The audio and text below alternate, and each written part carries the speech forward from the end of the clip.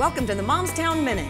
Twitter anyone? Facebook anyone? Twitter, Facebook, social media? Are you one of those entrepreneurs on the fence about using social media in your marketing platform? That's right. Are you using it and it's not getting you the results that you want? Well, Paula Bellew of integrityvirtual.com can help you strategize ways to use social media in the best way to get the business coming to your door. She's actually a certified social media marketing specialist. Say that five times fast.